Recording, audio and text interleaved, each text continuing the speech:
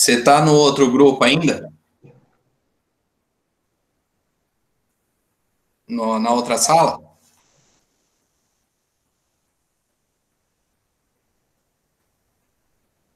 Já está aparecendo para vocês?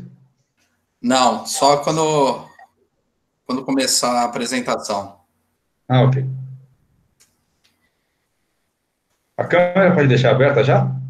Pode sim, senhor. Então, peraí.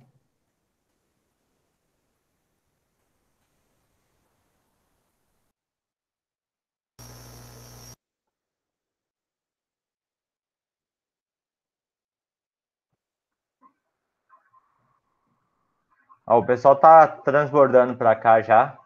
Todo mundo que tá entrando eu já tô mandando para cá, tá?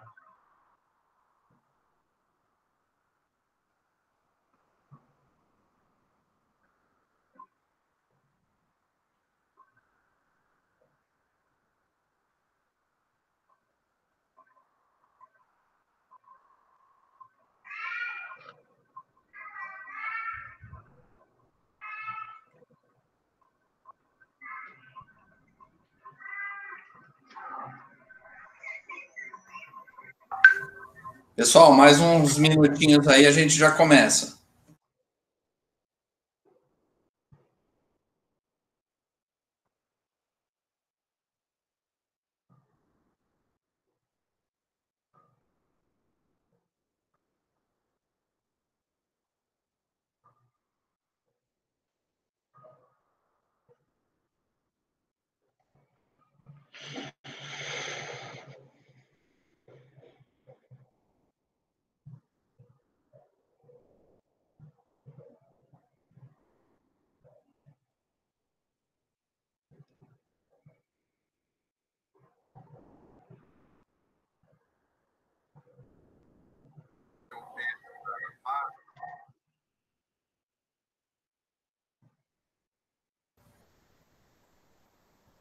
Tá dormindo, Rapi?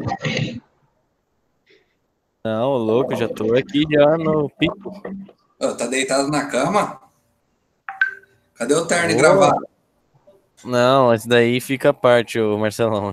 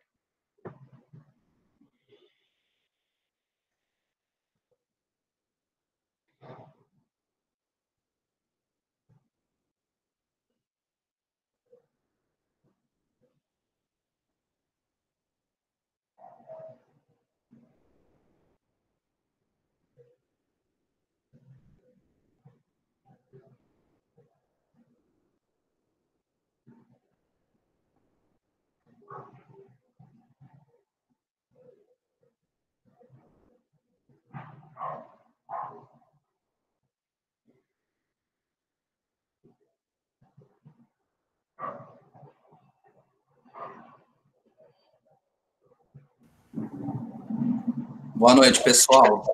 Daqui a pouco a gente já começa, mas dois minutinhos aí, para não atrasar muito o palestrante, como ele tem compromisso aí, aí a gente não atrasa ele.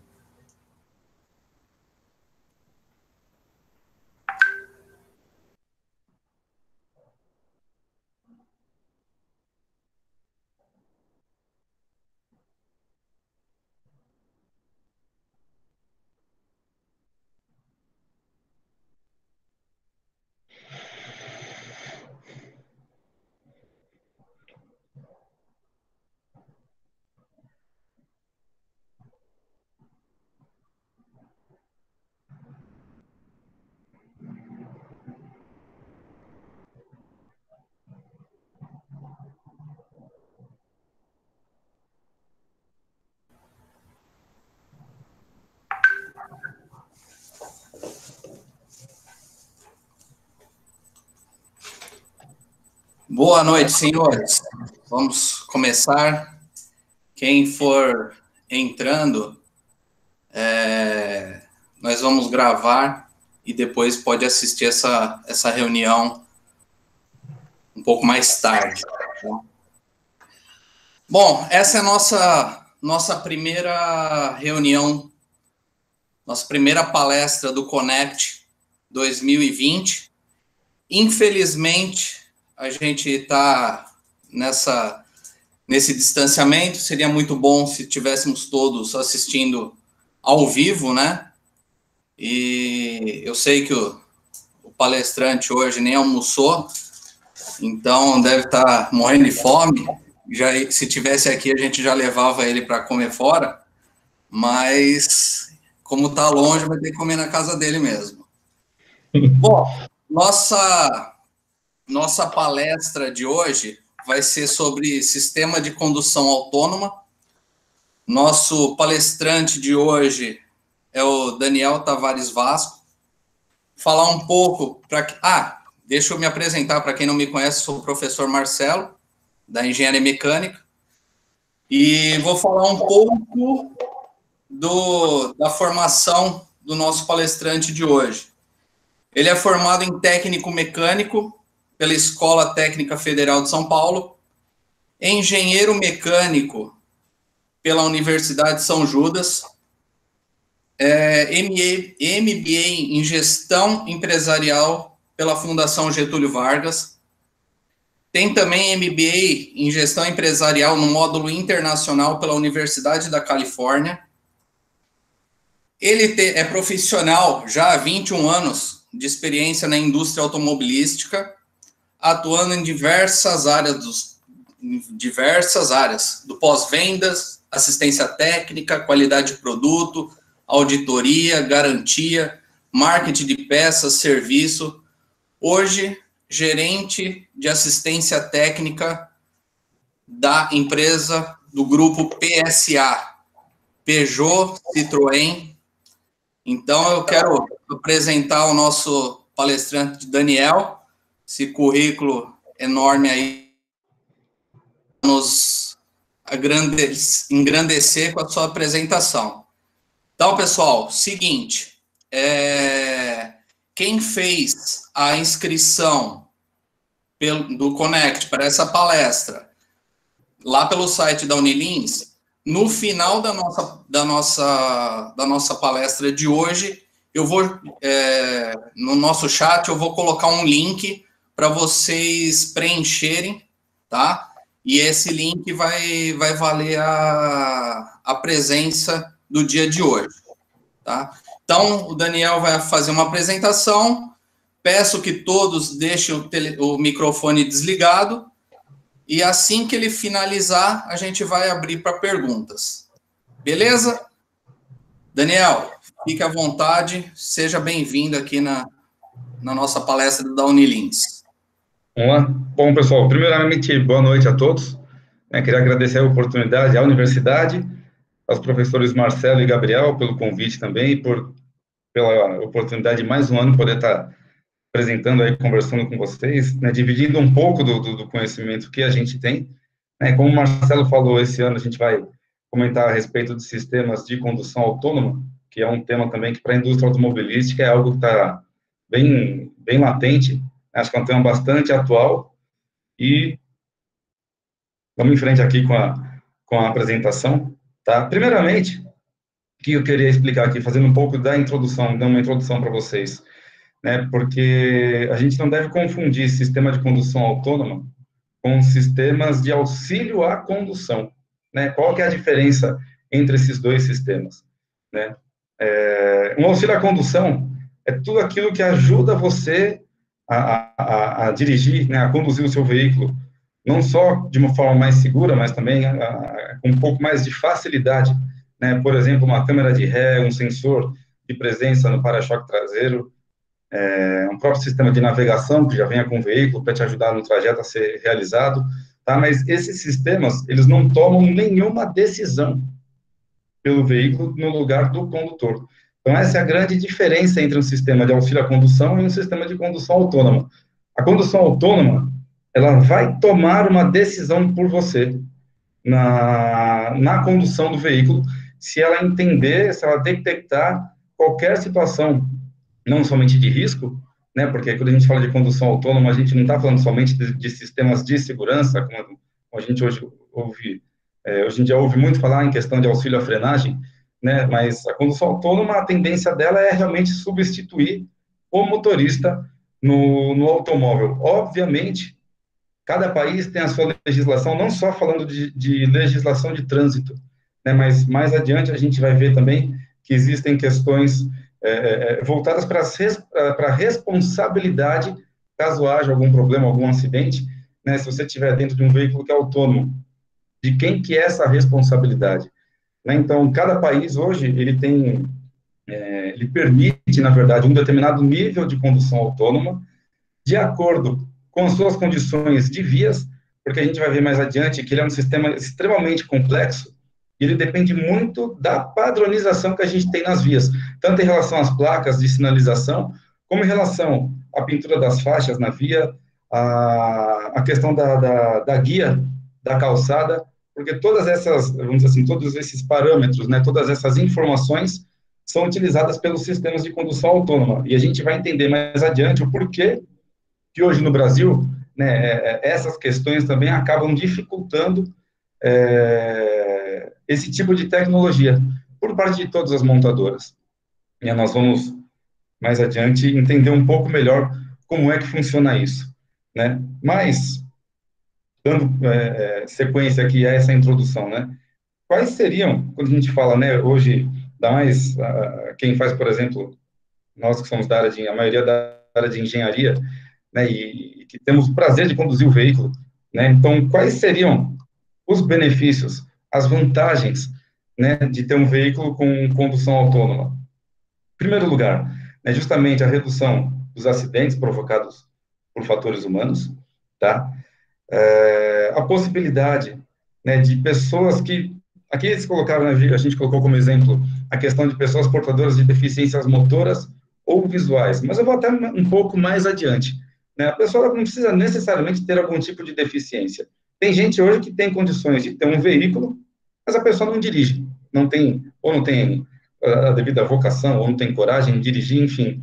Essa pessoa, se ela tivesse um veículo também com condução autônoma, ela teria a liberdade de se locomover sem precisar é, é, é depender da ajuda ou da boa vontade de alguém para poder ajudá-la, né? A gente fala também de aumento da produtividade, na né? própria imagem que eu mostrei mostra um rapaz sentado no volante ali com o jornal aberto, né, no lugar do jornal, pode ser o laptop, pode ser um celular, enfim, a pessoa ela consegue, já no trajeto dentro do próprio veículo, estar tá ali trabalhando, produzindo alguma coisa e ganhar tempo com isso, né?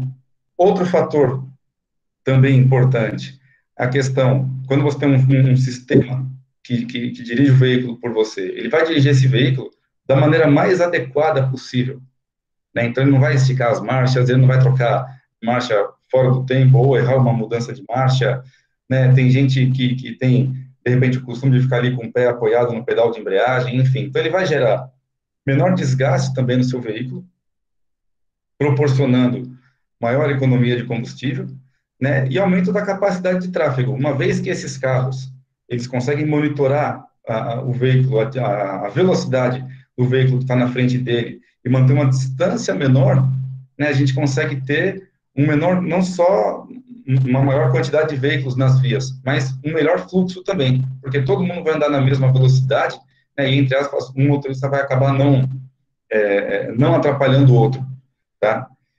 É, em contrapartida, existem alguns desafios também para gente, a gente poder ter um sistema seguro de condução autônoma. Foi o que eu comentei também no começo da apresentação. Em primeiro lugar, definição das responsabilidades legais sobre eventuais acidentes que possam acontecer.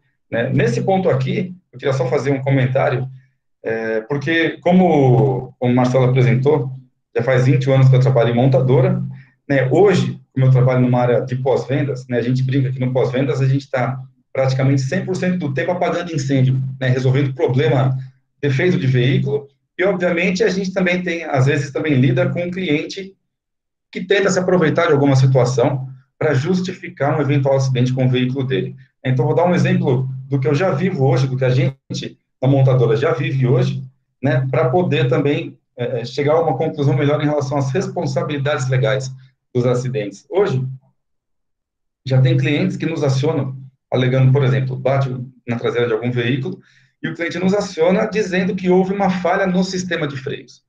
Então, como é que funciona esse processo? O cliente, obviamente, ele se acerta com o veículo é, que ele acertou, que ele, que ele colidiu, e depois ele vem atrás da montadora, a gente vai fazer uma perícia técnica no veículo dele, e se realmente a gente entender que, que houve uma falha do produto, a gente vai se responsabilizar tanto pelas despesas que ele teve com o, o veículo no qual ele bateu e com o carro dele. Né? Então, eu penso que um veículo autônomo, ele vai funcionar da mesma forma.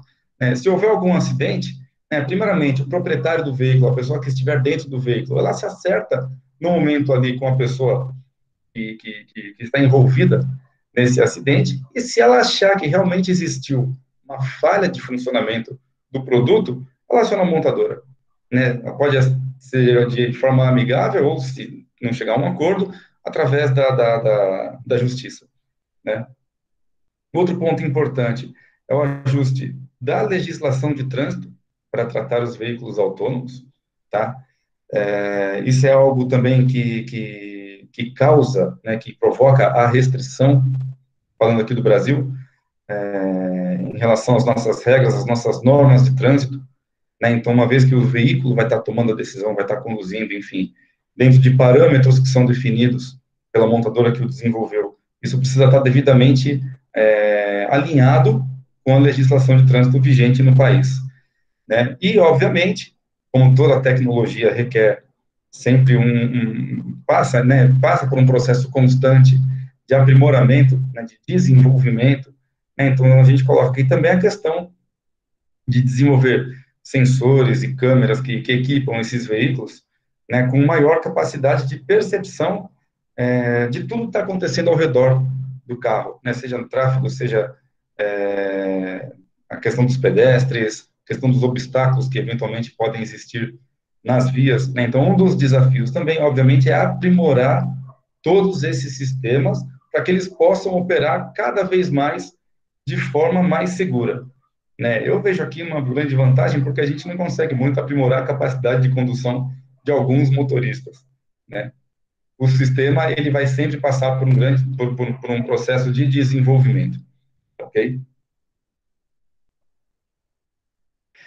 É, puxando um pouco do histórico da condução autônoma, né? Primeiro trazendo aqui um pouco da, da, da, dos principais das principais é, etapas ou processos que ela passou no mundo, né? A gente vê que é algo que é bastante antigo, né? A gente é, pensa que, que isso é uma novidade, né? Na verdade, agora que ela está realmente é, se tornando algo mais presente e mais real dentro das nossas vidas, né?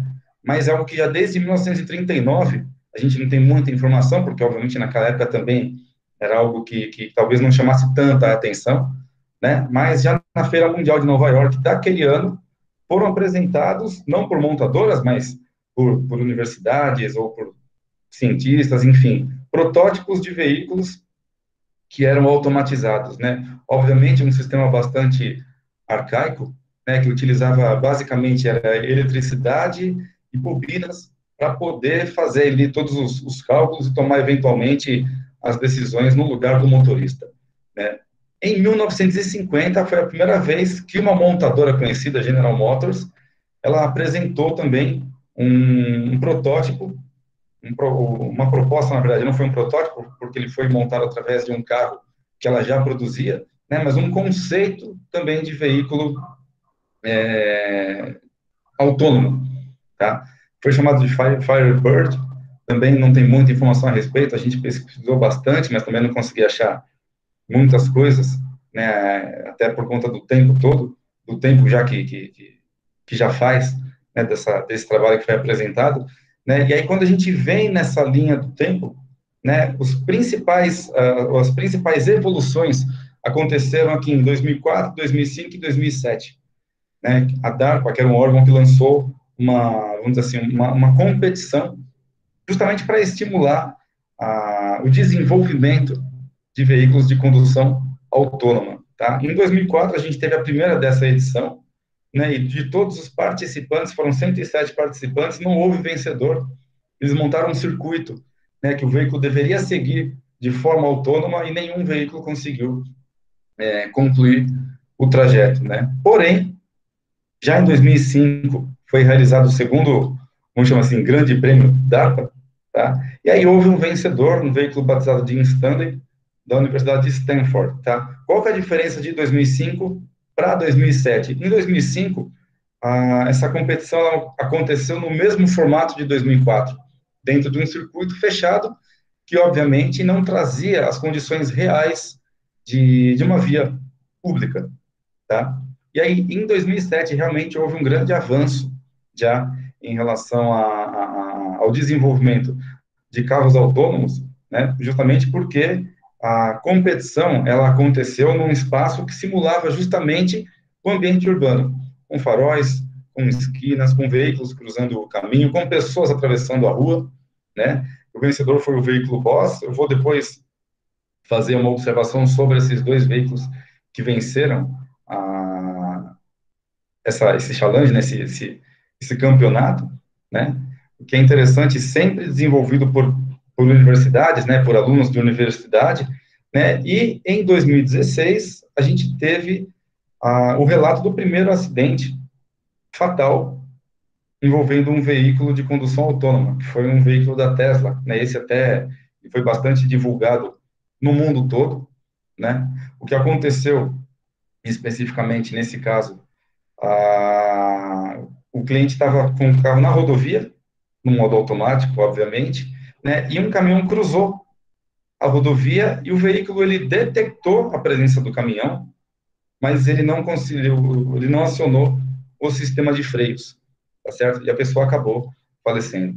Né? Mesmo nos Estados Unidos, onde a gente tem é, vias muito mais padronizadas do que no Brasil, né? Condições, as condições da via são, das vias são bem melhores do que no Brasil. Mesmo nos Estados Unidos, somente três estados hoje permitem veículos 100% autônomos. São a Califórnia, Nevada e, e, a Flórida. Em todos os outros estados, existem ainda grandes restrições. Né? Então, os veículos eles podem ter sistemas de condução autônoma, ou que a gente chama de semi-autônoma, na verdade, porque são sistemas que auxiliam, né, que vão é, em, é, evitar ah, alguns acidentes por parte dos motoristas, mas esses sistemas eles não permitem que o motorista, por exemplo, deixe de estar no comando do veículo, né? Ou seja, a pessoa não pode sentar no banco do motorista, soltar as mãos e achar que ela está 100% segura. Né? O, que é que é interessante em relação a esses dois veículos, à esquerda, a gente tem o vencedor de 2005 e à direita o vencedor de 2007. Né? O que a gente nota nesses dois carros é, em primeiro lugar, é, a quantidade e o tamanho de todos os equipamentos que eles precisavam ter para conseguir é, funcionar de forma autônoma. Né? E o que a gente percebe, inclusive, são dois SUVs, então são dois carros grandes, são dois carros né, de suspensão aí bastante reforçada. Por quê? Porque eu acredito que, inclusive, dentro desses veículos ainda existiam muitos equipamentos que, que, que faziam parte de todo o sistema de, de condução deles, né? Sem contar o peso que esses equipamentos deveriam acrescentar nos carros. Então, a gente, nessa época, a gente ainda não conseguiria, por exemplo, ter isso utilizando normalmente na rua, né? São carros realmente que foram feitos para estudo de tecnologia, porque, obviamente, ninguém pode andar na rua com um carro nessas, nessas, nessas condições, né? É, e é interessante, inclusive, o quanto isso evoluiu, né? Porque apesar de estar falando que já desde a década de 30 já existiam estudos e pesquisas voltados para a condução autônoma e semi-autônoma, né? A gente vê que de 2005 para cá, a gente imaginar que hoje nós já temos veículos é, de condução autônoma e que todos esses sensores hoje que a gente está observando nesses carros aqui, hoje eles já, já estão integrados na carroceria, no assoalho, nos espelhos retrovisores, enfim, no próprio para-brisas.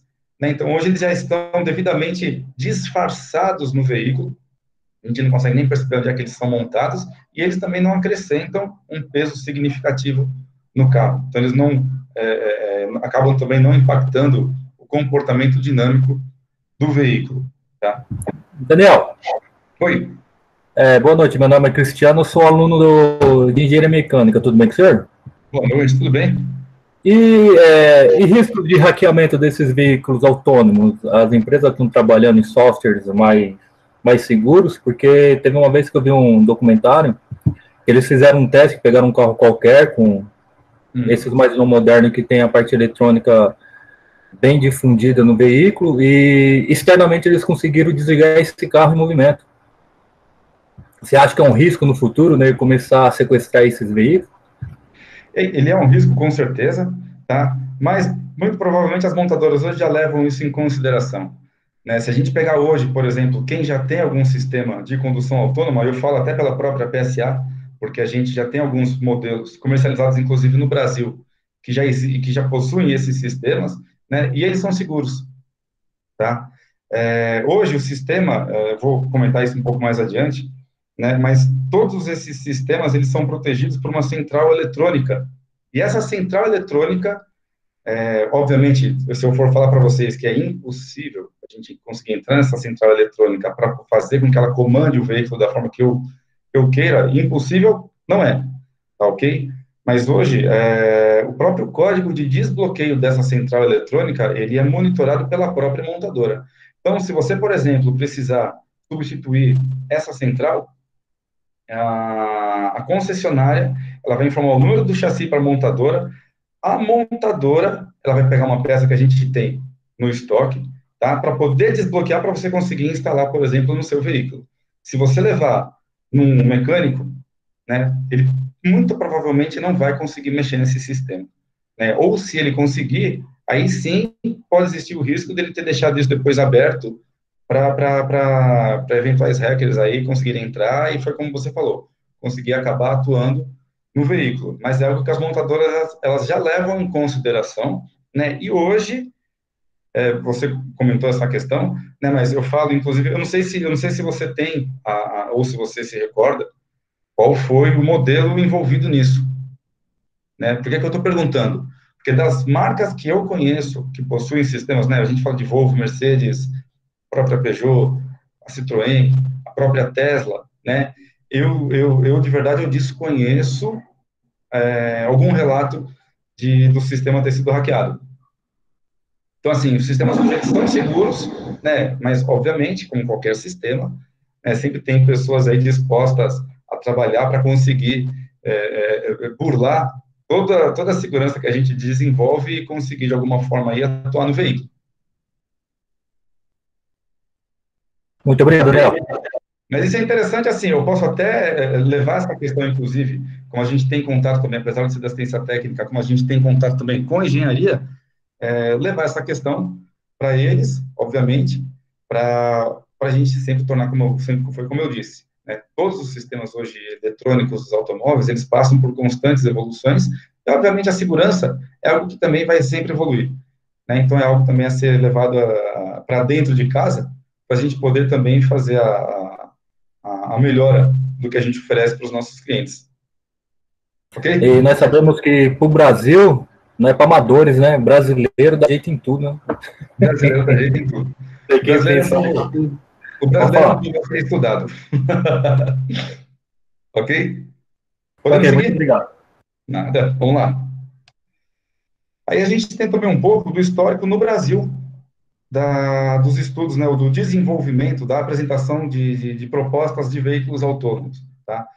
O primeiro registro que a gente tem de, de, de apresentação de um veículo autônomo, ele foi desenvolvido pelo Laboratório de Robótica da USP, está apresentado em outubro de 2013, foi batizado de Carina, ah, o que é bastante interessante, né, a, a, ele foi desenvolvido pelos alunos lá da Universidade, da, da, Unidade de São Carlos, e esse veículo, ele chegou, inclusive, a fazer uma apresentação nas ruas de São Carlos, né, em condições reais de trânsito, obviamente, por uma questão de segurança, ele foi com uma pessoa no lugar do condutor, que se houvesse necessidade, assumiria o controle do veículo, tá?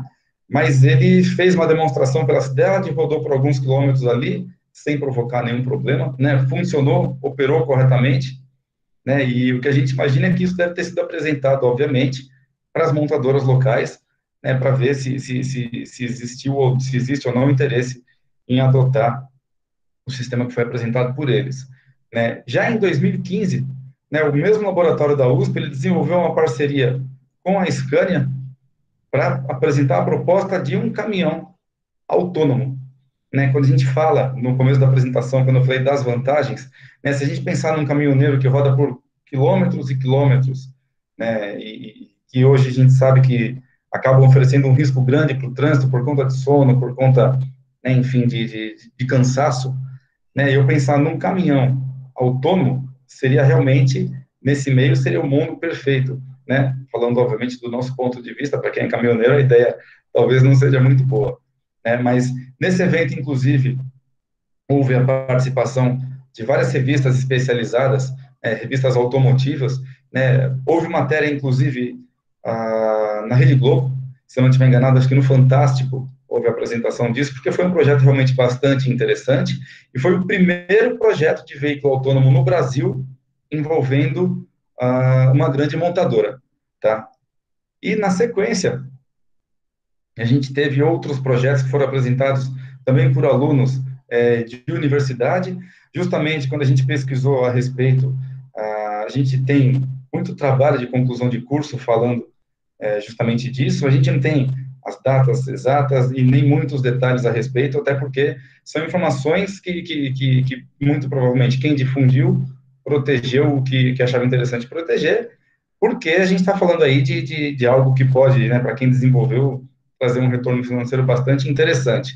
Né? O que a gente tem para destacar aqui, né, que o autor, o, o laboratório também de computação da Universidade do Espírito Santo também apresentou no passado uma proposta de veículo autônomo, eles chegaram, inclusive, aí num programa local de televisão, né, e o fato que acabou ficando marcado é que justamente a apresentadora do programa, ela foi atropelada pelo veículo. Né, estava em baixa velocidade, não foi nada muito grave, mas o sistema de frenagem do carro, ele simplesmente também né, não funcionou. É, se vocês quiserem o conselho meu, se alguém quiser testar um carro autônomo com vocês, eu sugiro não deixar né? Porque até hoje, mesmo as principais marcas aí que já tem a Tesla, por exemplo, também já teve uma experiência que não foi muito, muito positiva. É, a gente faz aqui pouco de brincadeira, mas a grande realidade é, se você for colocar na ponta do lápis, do lápis né, os acidentes provocados por seres humanos e os acidentes causados por veículos autônomos, a gente ver que o veículo autônomo, apesar do risco que ele oferece, a gente tem um histórico aí muito mais, é, muito mais seguro né, em relação a, a, não só a questão de educação no trânsito, né, mas em relação também à questão do, de eventuais acidentes que, que podem acontecer. Como eu disse, né, a gente tem, os países, na verdade, eles têm níveis de, de condução autônoma que eles permitem nos veículos. Né? Primeiro, por uma questão realmente da própria legislação em si, em si né, então hoje não fica muito claro quem se responsabiliza no caso, quem, quem deve ser responsabilizado, né, no caso de um eventual acidente, né, mas principalmente, falando por, no caso do Brasil, é, a gente tem realmente uma, um problema muito sério com as condições das nossas vias, tá? Então, dependendo, a questão do excesso de ondulações que a gente possui, né, a questão de faixa de trânsito que pinta e a faixa ela apaga, então o veículo não vai conseguir operar de uma forma segura, né? Essa é a grande verdade. Mas hoje nós temos seis níveis de condução autônoma, tá?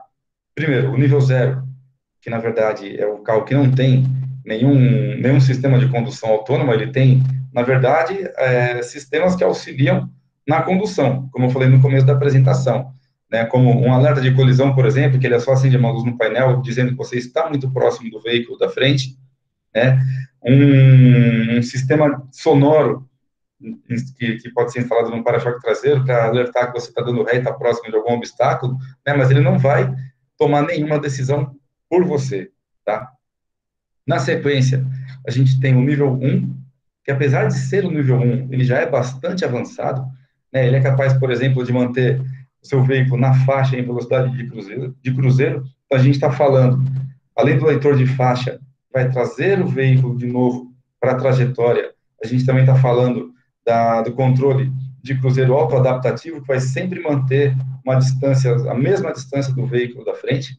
Né? Então, ele já tem aí uma certa ação inclusive no sistema de freios do carro, no sistema de aceleração. Né? Se você programar para andar a 100 por hora, entrar um veículo na sua frente uma velocidade um pouco inferior, ele vai, no primeiro momento, reduzir a sua velocidade, quando esse veículo mudar de faixa, ele vai voltar para a velocidade é, que, ele, que você havia programado, né? mas ele é um sistema, por exemplo, que ele não vai nem atuar na, na, na direção de forma a desviar de algum obstáculo, e também não vai atuar nos freios num caso aí de, de, de detecção de acidente, tá ok? Então, ele requer realmente uma constante atuação do motorista na, na, na condução do veículo.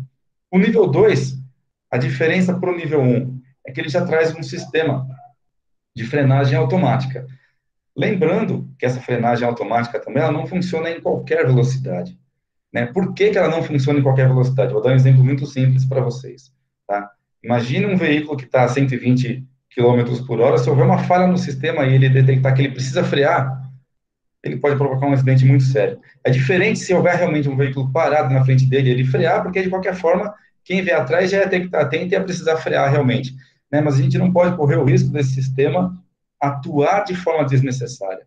Né? Então, eu colocaria aqui que hoje os mais avançados nesse ponto são os carros da Volvo, tá? que já entre 90 e 100 km por hora, eles já tem um sistema que é devidamente seguro para atuar nos freios do veículo, né? Falando um pouco da, da, da, empresa onde eu trabalho, o Peugeot 208, esse novo que acabou de ser lançado, ele tem a frenagem automática, tá? Mas até uma velocidade de, de 40 por hora, 40 km por hora, acima disso, né? O, o, ele não vai mais atuar, porque ele entende que a tecnologia que ele possui, ela não é segura o suficiente para funcionar acima dessa velocidade né, justamente porque eu vou falar mais adiante a questão de todos, comentar é, sobre todos os equipamentos que medem as condições externas do veículo, né, e esses equipamentos, eles têm uma certa alimentação também, né, em medir velocidade de, de aproximação dos outros veículos, né, por exemplo, ou um sistema de, de, de câmera que seja devidamente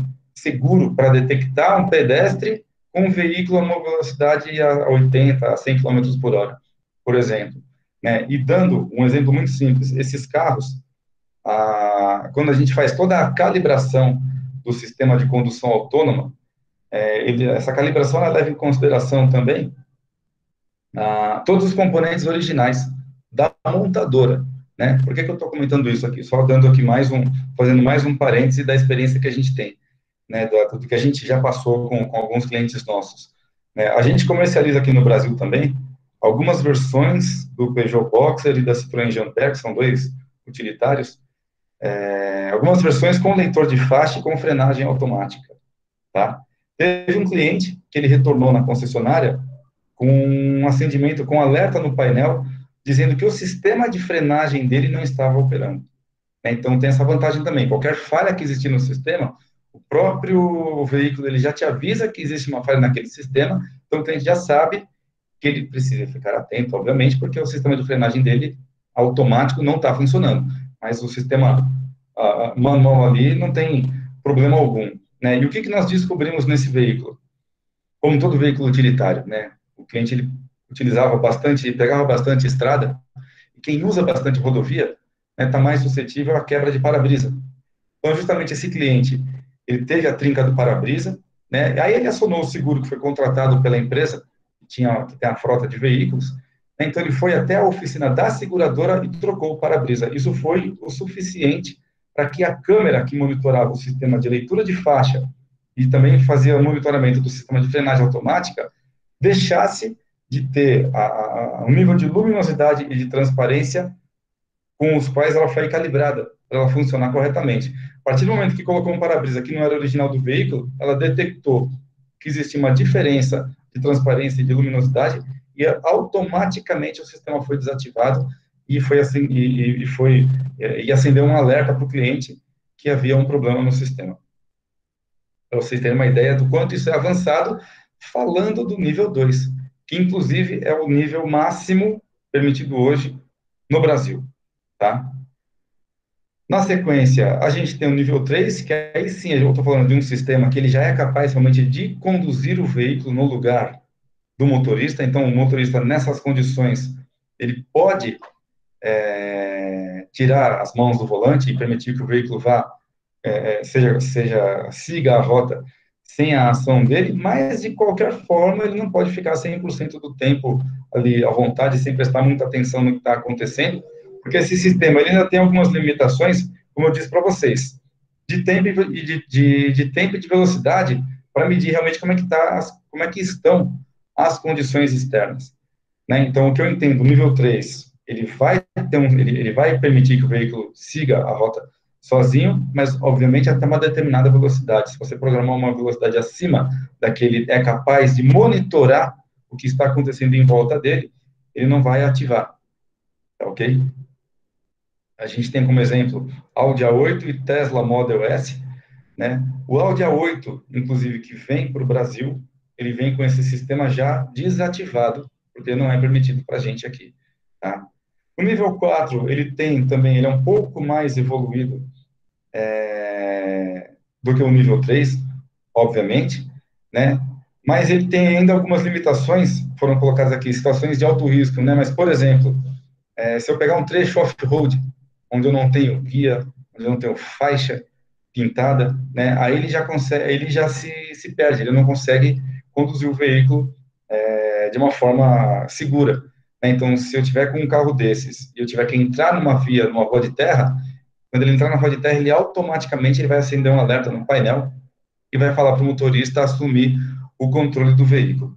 Né? E tem o nível 5, onde é o veículo que ele é realmente 100% autônomo, né?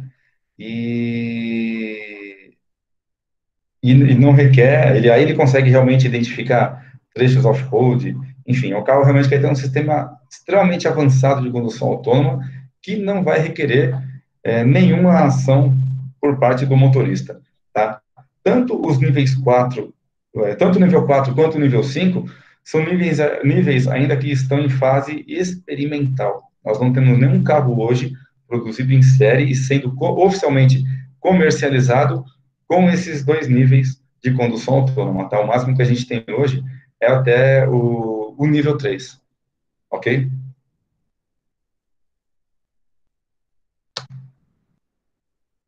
Como eu disse, né, trata-se de um sistema é, bastante complexo, né, e que tem uma série de, de, de dispositivos, de equipamentos é, instalados no veículo, que servem justamente para poder monitorar todas as condições de velocidade, todas as condições, obviamente, da, de conservação da, da pia, das, da, da, pista, das faixas de trânsito, né, a detecção de qualquer coisa que possa, de qualquer, ou pode ser um pedestre, pode ser um cachorro, enfim, que, né, que possa eventualmente passar na frente do veículo. Né? Então, nós temos, primeiro, os sensores externos, né, que obviamente fazem toda essa, essa leitura do, do, do ambiente, né, e transmite esses dados para aquela, aquele a gente colocou né, para o computador de bordo, né, para justamente é, alimentar o sistema de condução autônoma com essas informações e permitir que o veículo siga é, em segurança. É, hoje, os mais utilizados como eu falei, nós temos câmeras, temos radares, sonares e o lidar. Eu vou mais adiante explicar um, um pouco mais de detalhe como que ele funciona. tá ok? No, no caso dos veículos da PSA, nós temos radares e câmeras operando nos nossos veículos para poder fazer todo esse monitoramento, além do LIDAR, que eu diria que é o principal é, equipamento hoje dos sistemas de condução autônomos, né? Temos a câmara estereoscópica, que é uma que utiliza lentes justamente para criar diversas perspectivas, né? Ou seja, é, ele vai trazer a imagem é, já com a noção de profundidade. Né? Então, ele não vai trazer para o veículo uma imagem plana como se eu estivesse olhando para uma tela de computador, por exemplo. Né? Ele tem um sistema de câmeras justamente para trazer também essa imagem em 3D para o veículo. E o sistema poder identificar o que está mais longe, o que está mais perto da, do carro, ok? Temos a câmera infravermelha, que ela serve justamente para é, identificar objetos, pessoas, é, outros veículos, enfim, em lugares com baixa luminosidade, ou até com nenhuma é, luminosidade. Né? Então, ela consegue, inclusive, detectar a presença de pessoas, de objetos, né, é, pela própria variação de temperatura. Né? Então, algo que está até que possa até estar tá fora do nosso campo de visão, o sistema ele vai conseguir detectar, né?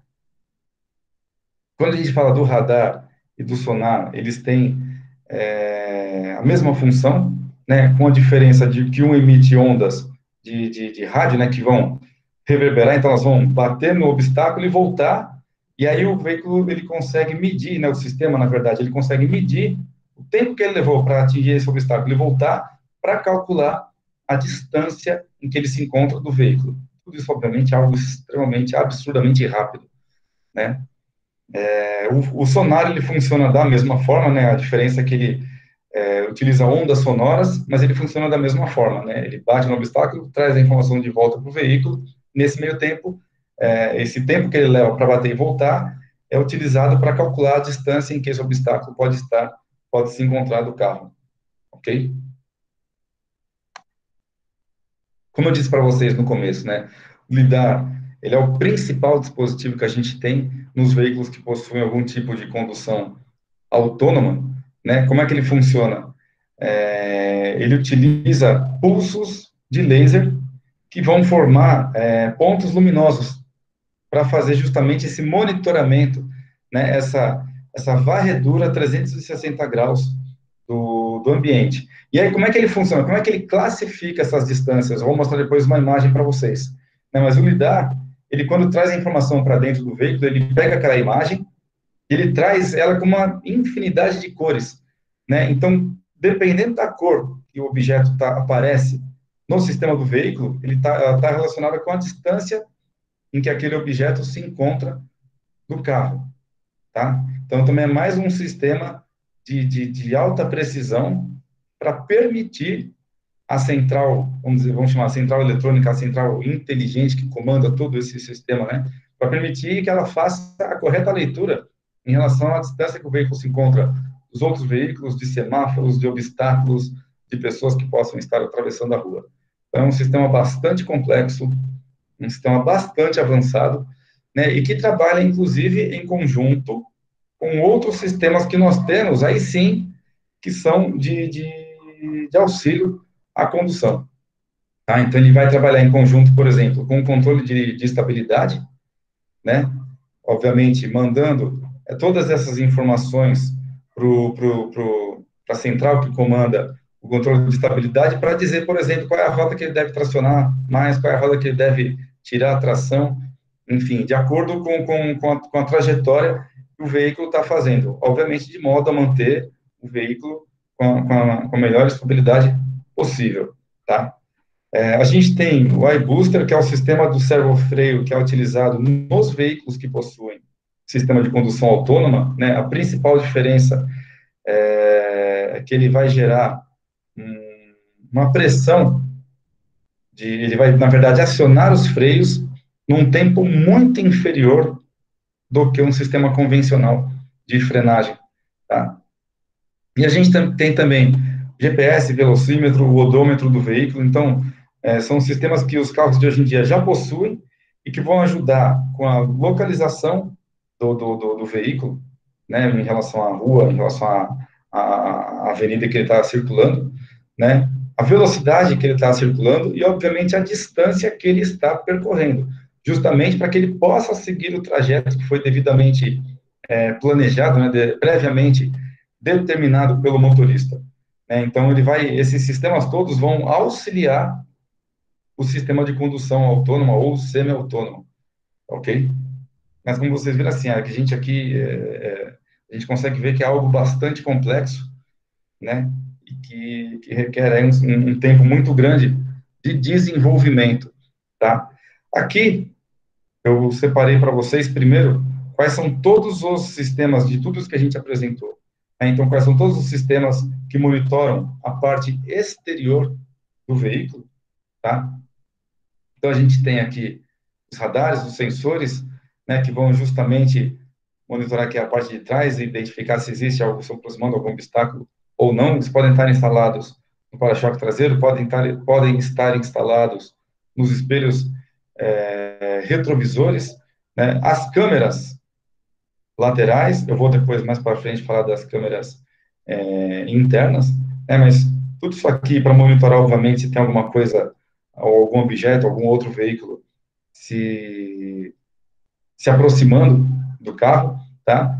Nós temos também, na parte externa do veículo, os, é, os sensores que auxiliam, ou que vão operar, na verdade, o sistema de estacionamento automático dos carros, o famoso Park Assist, né?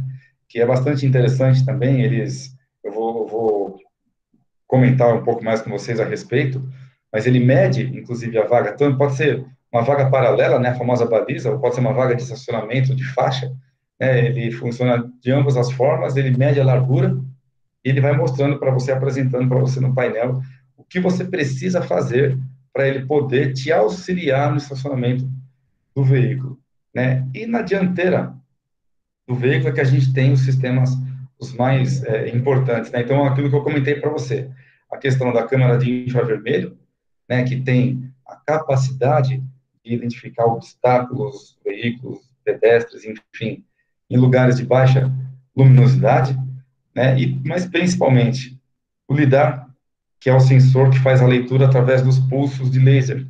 Né? O lidar hoje acho que é o mais importante, é o principal equipamento. A gente consegue ver, inclusive, que quando a gente vê o raio de atuação dele, ele é o que consegue ter o maior alcance, né? E é o que vai realmente é, monitorar da melhor forma a, a questão da trajetória, a questão da, da, da condução segura, para que não haja nenhum acidente.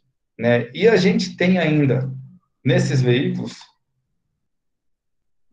os sistemas aqui, a gente tem algum, alguns sensores ainda que mostram, né, que, como eu já mostrei na imagem anterior, que fazem o monitoramento da parte externa do carro, mas olha que interessante, né, ele tem também toda uma parte de leitura da cabine do veículo.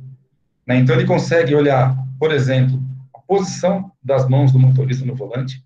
Né? Se, de repente, for um carro, um leitor de faixa, inclusive, ele vai verificar se o, se o, se o, se o, se o motorista está seguindo ali corretamente para trazer o veículo de volta. Né? Se eu estou em linha reta e o motorista começa a, a, sair da trajetória, ele entende, inclusive, que esse veículo, esse, que esse motorista ele pode estar cansado, né? Então, ele, além de corrigir a trajetória do carro, né, alguns veículos são equipados com um sistema de trepidação, uma trepidação muito leve, mas de trepidação do volante para trazer de novo a atenção do, do, do, condutor. É, tem uma câmera que fica voltada para a cabeça do motorista, para poder justamente verificar se, se ele está prestando atenção no trânsito, se ele não está distraído, olhando para o lado, enfim, olhando para o celular. Hoje em dia, o que mais acontece é isso também as pessoas no volante olhando para o WhatsApp. Né? E temos também uma câmera que vai monitorar os pedais, para verificar, por exemplo, se ela está detectando um obstáculo e se, se, se, o condutor do veículo já está acionando o pedal ou não. Né? Porque, obviamente, se ela chegar a uma determinada distância e ver que não houve nenhuma reação por parte do condutor, ela vai automaticamente acionar e, e evitar ali eventualmente o, algum acidente, tá ok? É um sistema realmente é, bastante, bastante complexo. Né? Antes de passar para o último slide, eu vou só parar aqui rapidamente o compartilhamento, porque eu quero mostrar, quero apresentar uma outra, uma, uma outra tela para vocês, um vídeo aqui bem curto, mas para mostrar um pouco, quando a gente fala de, de sistema né, de, de, de condução semi-autônoma, um pouco de como que eles, como que eles funcionam. Só um segundo.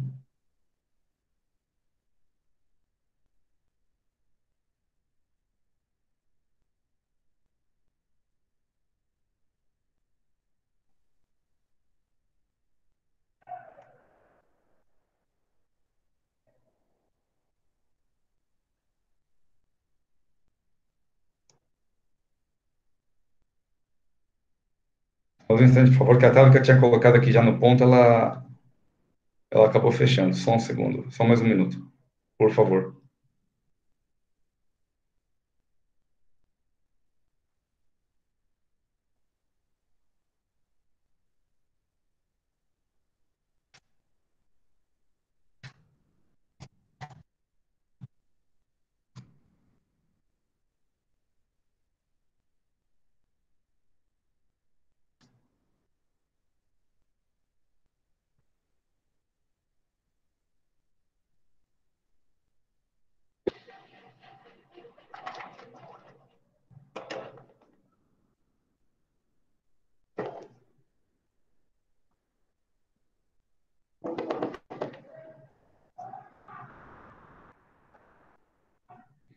Vamos lá, pessoal, consegui.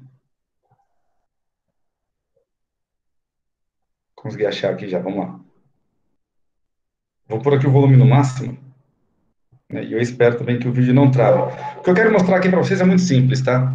Comentei né, que a gente tinha acabado de lançar aqui o carro já com, com um sistema já um pouco mais avançado de condução autônoma, né, para vocês verem realmente quando a gente tem uma rodovia aqui no caso devidamente padronizada, é, como, ela, como ele funciona e funciona de forma correta. Vocês estão vendo já minha tela novamente, né? Sim. Ok, vamos lá. Sim, estamos sim.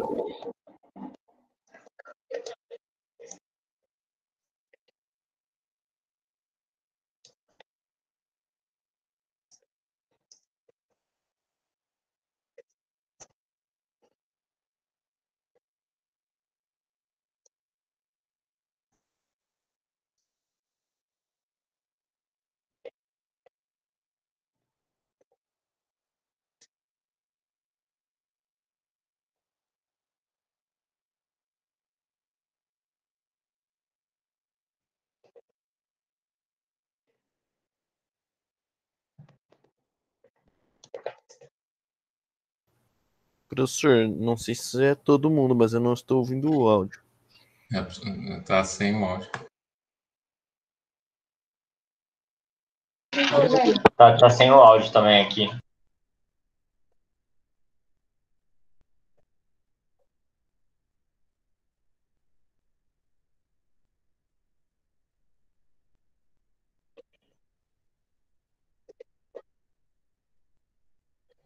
Eu acredito que ele não está ouvindo a gente.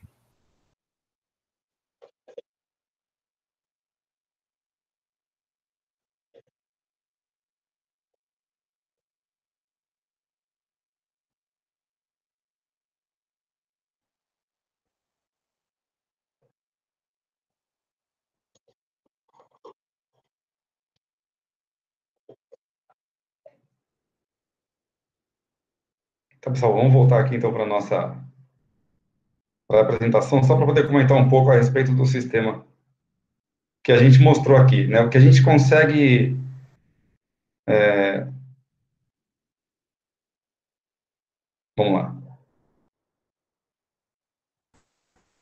Né? Primeiro, o que eu queria comentar com vocês, né? O que ele fez lá e que a gente jamais deve fazer.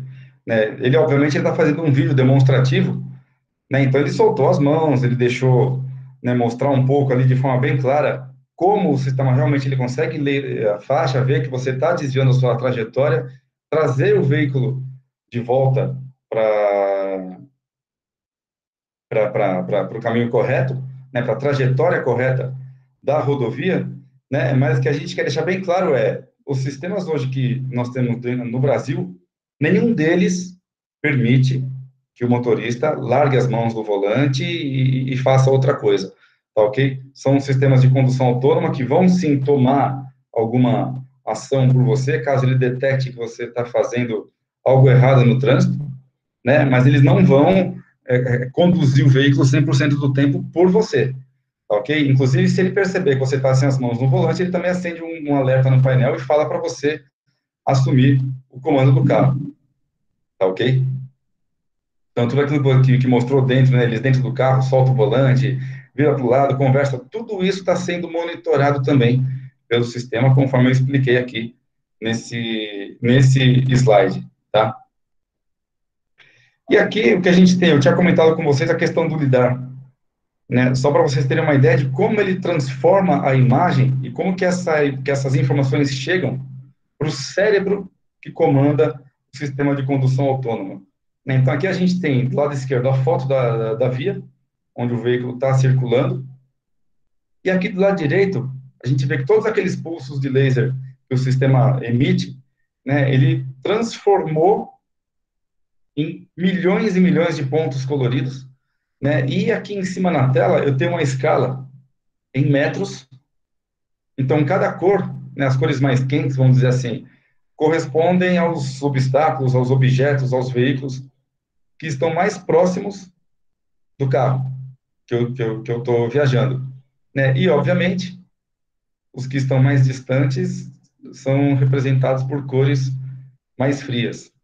Né? Então, é assim que o sistema faz a leitura para poder fazer, para poder assegurar, na verdade, a correta é, condução do veículo no lugar do motorista. É um sistema bastante avançado e bastante é, complexo, tá?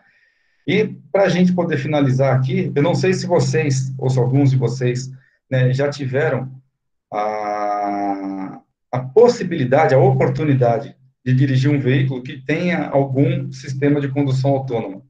É, mas eu coloquei aqui hoje os principais que nós temos disponíveis no Brasil, justamente para poder comentar um pouco dessa experiência. Né, porque a gente pensa num primeiro momento que, que, que pode parecer a, a, coisa mais perfeita, a coisa mais é, interessante do mundo ter um carro é, que, que, que dirija por mim. Né? Fazendo aqui uma, uma brincadeira, ele pode ser interessante para a gente fugir da, da, da, Blitz, né? Como eu, na última, no último ano, no ano passado, na verdade, quando eu estive aí para fazer a, a apresentação, participar da palestra com vocês, na hora que eu estava indo embora, a polícia me parou ali perto do Country Club. Né? A sorte é que, como eu tinha feito a apresentação, eu peguei o carro, estava indo embora e não tinha bebido nada. Né? Mas é uma condição onde, se eu tivesse bebido alguma coisa, eu, teria, eu ia gostar muito de estar num carro de condução autônoma. Tá? Mas a gente tem hoje o controle de cruzeiro autoadaptativo. Né? Como é que ele funciona na grande maioria dos veículos? Ele mantém uma distância, em geral, de dois segundos do veículo da frente. Né? Eu acho que ele é algo que funciona muito bem se eu tiver numa via com pouco movimento. Tá? Porque se eu tiver, por exemplo, numa estrada que esteja muito cheia, né, vamos supor, numa, numa rodovia onde o limite de velocidade é de 120 km por hora, né? Quando eu falo a 120 por hora de uma distância de, de dois segundos do veículo da frente, eu estou falando aí de quase 70 metros de distância. Né? Então, nesses quase 70 metros, né, é muito fácil algum outro veículo entrar na sua frente. E toda vez que um veículo entrar na sua frente, ele vai reduzir a velocidade para ficar de novo, para manter de novo essa distância dos dois segundos e retomar a velocidade de novo. Né? Então, se você estiver numa via muito movimentada, o controle de cruzeiro adaptativo ele vai sempre te jogando para trás. Ele acaba se tornando um sistema, obviamente, seguro, mas é um sistema que, que, que em determinadas situações ele se torna um pouco irritante. Você acaba ali desacionando ele, porque senão também você vai cada vez mais perdendo tempo. Né? O Parque Assist, como eu comentei com vocês um pouco nos slides anteriores, né? ele, ele tem sensores que medem o tamanho da vaga e comparam com o tamanho do veículo. Então, como que ele funciona? Vamos supor, se eu for fazer uma baliza, estou andando na rua, acho, procurei, achei ali uma vaga onde eu acho que o meu carro cabe. Eu tenho que primeiro parar o veículo, eu vou acionar o botão do Parque Assist no painel, aí eu vou dar a seta para o lado onde o carro, é, para o lado onde eu quero estacionar, aí eu tenho que vagarosamente passar pela vaga inteira para o sistema medir, aí ele vai me dar um alerta no painel se é possível não estacionar. Se for possível, ele vai me dar o comando para engatar ré e tirar as mãos do volante. Então, nesse momento, eu vou controlar só freio e acelerador. O restante do trabalho, o Parque Assist vai fazer. Né? O que, que eu vejo também é, é, é, nesse sistema? Ele ajuda bastante, porque não tem como você errar a baliza, né? Obviamente, se você, a não ser que você desobedeça a ele, porque ele vai falar para você frear o carro na hora que você estiver estacionado e, obviamente, próximo já do carro de trás. Mas ele é um sistema lento.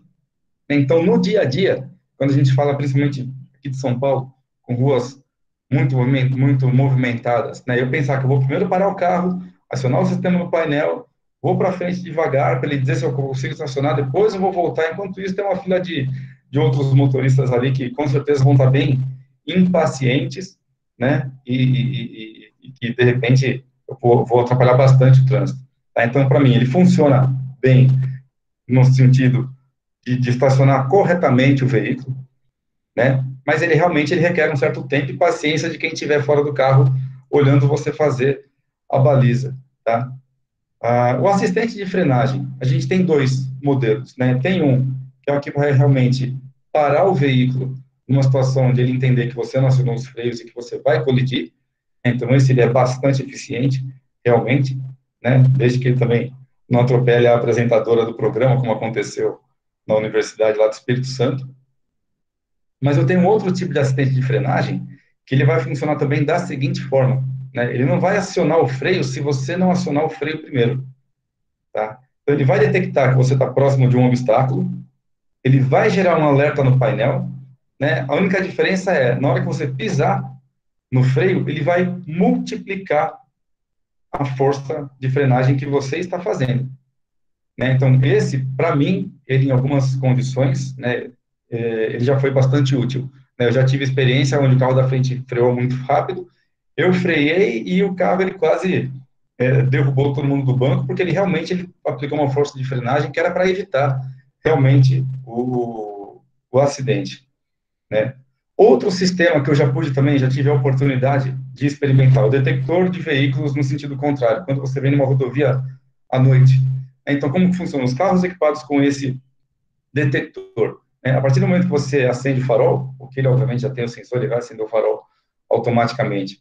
Se não tiver nenhum veículo vindo no sentido contrário, ele já acende o farol alto, né, justamente para te dar melhor visibilidade. E não só no sentido contrário, né, se você tiver um veículo na, na sua frente também, para ele não ofuscar os retrovisores, ele também automaticamente ele vai, se ele detectar, ele vai baixar, vai colocar de novo no farol baixo. Quando o caminho na sua frente estiver livre, ele vai de novo colocar para você no farol alto para você ter uma melhor eficiência de iluminação. O que eu é, entendi que, que para mim não funcionou muito bem é um sistema que ele é extremamente sensível, extremamente. Então, a situação que eu estava, eu estava na rodovia dos Bandeirantes, de madrugada, né?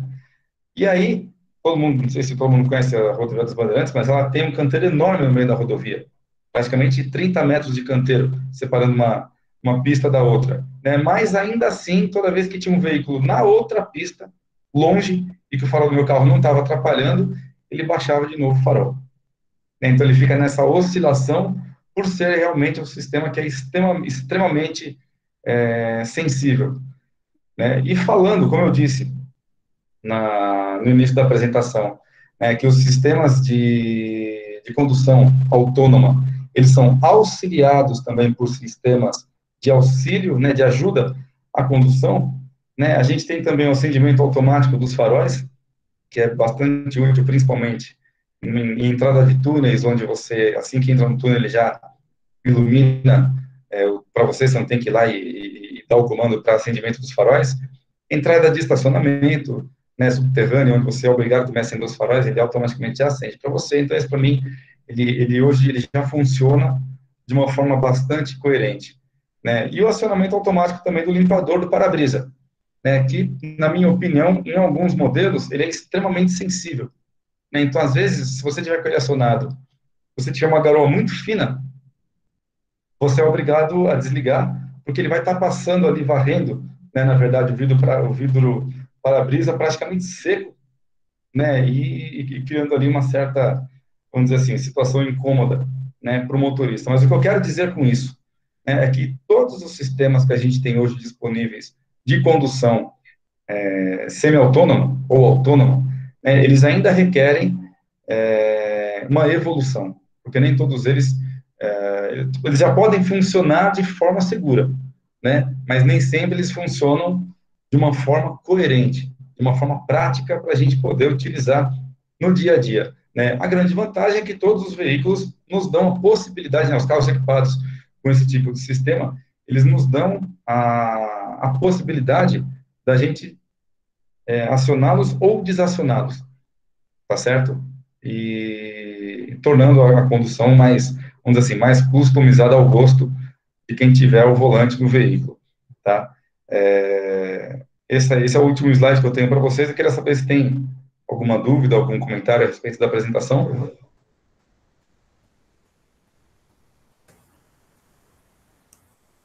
Bom, Daniel, muito obrigado aí pela, pela palestra.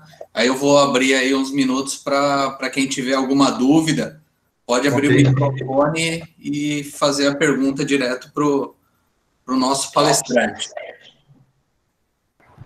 Daniel, Oi? parte de manutenção, você acha que vai ter um aumento significativo nessa, né, nesse quesito? Quando a gente fala de manutenção, todos os, os, sistemas que a gente tem aqui não são itens de desgaste. Tá? Então, aumentar o custo de manutenção por conta desses sensores, não. Né? São sistemas realmente que eles vão requerer algum tipo de, de intervenção só se eles apresentarem algum tipo de defeito. Certo, Daniel, mas caso tenha esse problema com manutenção, é, você hum. acha que a própria empresa irá, irá atender ou fica por conta do cliente em si?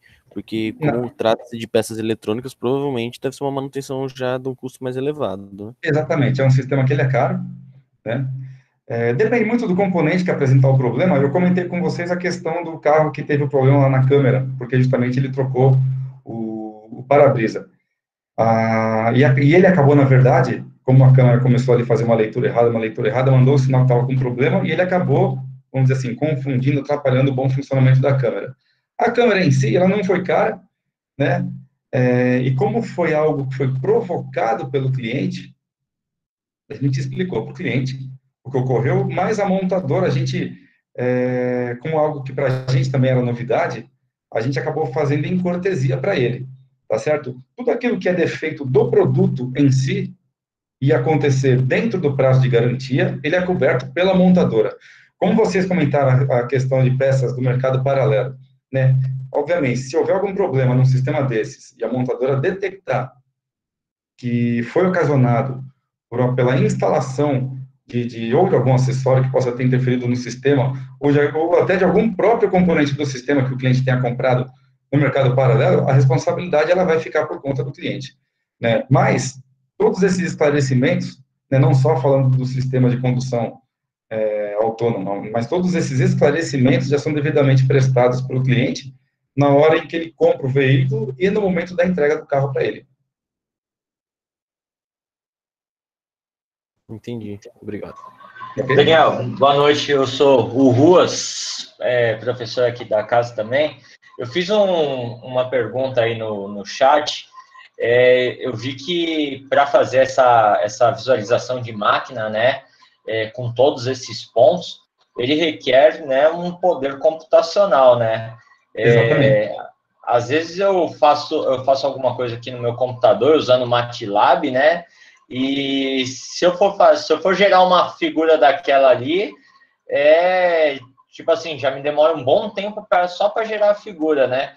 Cara, qual que é o tamanho do poder de processamento que eu tenho que ter para, que nem você falou, né, para uma imagem de dois segundos de distância? Exatamente. É, eu, de verdade, não sei responder para você a velocidade de processamento dessa, desse sistema. Tá? Eu posso levantar e, e depois passar essa informação através do Marcelo, eu respondo isso, eu passo isso para vocês. né? Mas, de qualquer forma, é, hoje, quando a gente fala da, todos os carros que a gente tem, ou a grande maioria dos carros que a gente tem hoje, eles são multiplexados. Então, o que, que significa essa multiplexagem? É justamente uma tecnologia que ela permite, ela é como se fosse mais ou menos o cérebro humano com a espinha dorsal. É assim como a gente funciona. A gente tem todas as, as terminações nervosas que fazem a gente movimentar todo o nosso corpo, né, que fazem funcionar todos os nossos órgãos. Os carros hoje, eles já são equipados com essa tecnologia. Né, porque aqui tudo bem, a gente está falando de um sistema de leitura, de processamento da imagem e de já converter essa imagem para que possa, é, é para mandar ou para determinar um, um, um comando para o veículo. Então, essa é uma tecnologia que as montadoras, inclusive, elas já dominam. Né? Se eu pensar hoje que eu já tenho essa central eletrônica que eu comentei com vocês, que, que comanda o sistema da, da, da, condução autônoma, ela já comanda todas as outras funções elétricas e eletrônicas do veículo, tá certo? Mas eu me comprometo aqui a, a, a pesquisar essa informação, né, a velocidade de processamento, que é algo realmente muito rápida, né, e eu passo para o Marcelo poder dividir aí com vocês. Porque eu vou precisar consultar realmente a engenharia, o pessoal que, que fez realmente o desenvolvimento dos sistemas, para poder, poder passar uma informação aí precisa. Obrigado, Daniel. É que eu fico imaginando se, se o meu computador é um i5, um i7, não, acho que não ia dar conta, não, né? É algo bastante avançado, é algo bastante. bastante é, uma, é uma tecnologia de, de ponta mesmo, quando a gente fala de tecnologia voltada da área, para a área automobilística.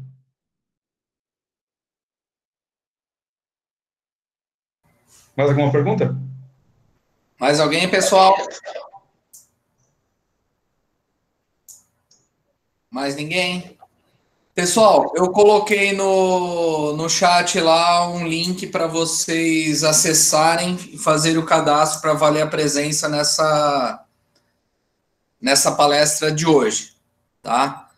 É, Daniel, já que não tem mais perguntas, quero agradecer. Pode falar, Eric. Marcelo, acho que ninguém deve ter perguntado, né? Mas esse negócio de live, o pessoal às vezes fica com um pouco mais de vergonha. Mas acho que eu vou fazer uma pergunta que a, a maioria desse pessoal que está aqui com a gente, a gente tenho certeza que eles vão gostar.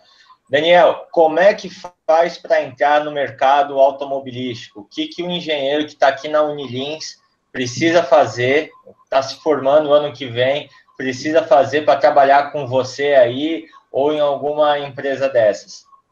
Bom, falando especificamente né, da, da, da PSA, obviamente pode né, esteja à vontade ou para me acionar através do LinkedIn, ou se quiser mandar o seu currículo para o Marcelo, Marcelo ele passa para mim, é, a gente tendo uma oportunidade, vai ser um prazer poder ajudar. Né? Mas a principal dica que eu dou, porque o próprio RH da PSA também fala isso, né? a principal fonte de pesquisa hoje da maioria das empresas é justamente a parte institucional que elas possuem no, no site. Então, todo site, seja da Peugeot, Citroën, Volkswagen, Fiat, ele vai ter uma área lá institucional dizendo ali, trabalhe conosco. Né? É um campo que você tem para poder cadastrar uh, o seu currículo. Né? Segundo, pessoas que trabalham comigo lá na PSA, o pessoal da equipe do RH, é, eles falam que justamente a principal fonte de pesquisa deles é essa. Né, e o que, que eles entendem, inclusive? Que uma pessoa que entrou no site da empresa, foi lá, fez um cadastro, né, declarando, inclusive, que tem é, o desejo né, de trabalhar. Eles acabam dando, inclusive, num processo seletivo, prioridade para essas pessoas, porque em algum momento já houve o interesse dessas pessoas em trabalhar na empresa, em trabalhar na, na nessa determinada montadora, né, aqui falando da, das montadoras de, de automóveis. Né? E o que eu faço bastante também, o que eu fiz bastante no passado, né, para conseguir entrar. Na minha época, obviamente, não existia LinkedIn. Né? A gente procurava emprego é, no jornal mesmo, comprava classificados, mas eu procurava sempre em montadora. Né? Quando eu fiz o curso de engenharia, já fiz pensando em trabalhar em montadora. Era um desejo meu já desde quando eu era criança. Então, é, a insistência né, a determinação, ela também acaba nos ajudando bastante em, em, em atingir os nossos objetivos, os nossos sonhos. Né? Mas, de qualquer forma, quem procurar Daniel Tavares Vasco no LinkedIn vai encontrar o meu perfil, né? Eu estou à disposição, podem me acionar, podem me chamar, né? Até se depois surgir mais algum tipo de dúvida, algum comentário a respeito também do que a gente apresentou aqui, sintam-se à vontade, né? E através do Marcelo também, que, que, que é um grande amigo aí de longa data, se quiserem também passar alguma informação para ele, um currículo através dele, tenho certeza que da parte dele vai ser também um prazer passar para mim e a gente podendo ajudar, a gente vai ajudar. É isso aí. Ok? Maravilha, pessoal. Alguém mais alguma pergunta? Eric, obrigado aí pela ajuda aí no, no nessa, por criar esse novo essa nova reunião no Meet, aquela lá deu problema, mas deu tudo certo. Deu tudo certo. Obrigadão aí, Eric. Obrigado, Daniel. Obrigado a todos que participaram. E amanhã tem mais. Espero que todos tenham feito o cadastro. E amanhã está, estaremos aí para mais uma reunião. Beleza, pessoal? Pode, pode falar, Daniel. É só aproveitar só para agradecer mais uma vez aí a participação de todo mundo. Né? E se tudo der certo, no ano que vem a gente está de volta. Obrigado a todos aí. Se Deus quiser. Estaremos juntos. Um abraço a todos. Boa, boas palestras aí até o final da semana. Valeu, galera. Obrigado, hein? Valeu, Valeu até mais. Valeu. Até mais. Valeu, boa noite. Boa noite. Boa noite, valeu, galera.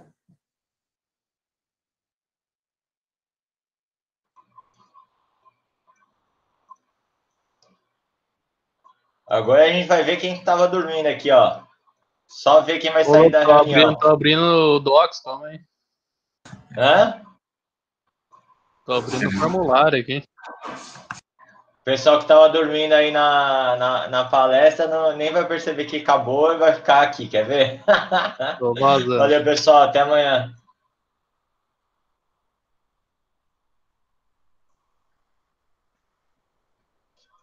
Até mais, Eric. Até amanhã.